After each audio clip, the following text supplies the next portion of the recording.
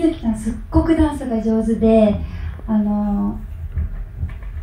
インスタグラムとか SNS もつながってるんですけど水木ちゃんよくダンスの動画載せられててあの本当に本当に上手で特にダンスメンバーの中でもあのダンスシーンで水木ちゃん演じる美咲ちゃんがダンスを間違えないといけないシーンがあったんですけど、はいはいあの本当に上手すぎて逆に間違えることの方があの難しくってでみんなで「本当すごい上手やんね」っていう話をあの撮影時してた覚えがあります。はいはいうん、なんかこうがあの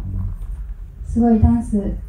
つついていくのが大変で苦労してたんですけどクランクイン前本当にたくさんレッスン重ねてあの撮影時期が夏だったのであの今コロナ禍もあるのでマスクしながらのレッスンでもうすっごくみんな汗べっしょりであのこのダンスシーンのダンスすっごい速いんですよリズムが